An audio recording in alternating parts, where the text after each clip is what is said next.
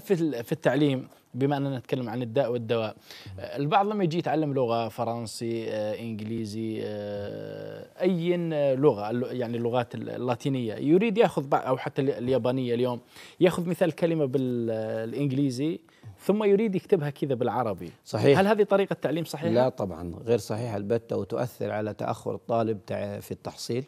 انه هو يكتب مثلا كلمة book يكتبها باء واو نعم كاف. هذه طبعا إيش يصير عنده؟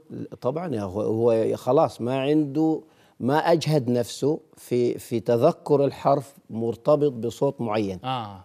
لابد تعلم الحروف لابد أن يكون آه هذا هذا الحرف يرتبط بصوت معين تمام حرف ال B يرتبط بباء باء ال O كذا أو ضم فبالتالي يجمع ما بين هذه الأصوات فيصدر كلمة. أما إذا إذا إذا يعني استسهل الأمر وكتب كلمة مثلا بك با ستجد اعينه تنظر مباشرة إلى الكلمة باللغة العربية. يصير عنده يعني الاستيعاب ضعيف جدا. أه تؤيد أنه الأستاذ اللغات يتكلم بالعربية في الفصل تسهيلا ولا لا أبدا؟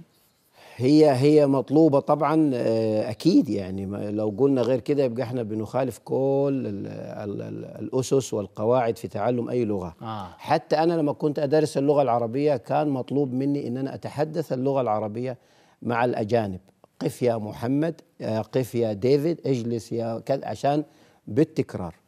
لكن هنا إحنا في يعني يعني في بنصل إلى مراحل معينة مثلا في المرحلة الثانوية تجد في المرحلة الثانوية أنا أتكلم باللغة الإنجليزية والطالب وجد نفسه لا يفهم فبالتالي يسرح. آه.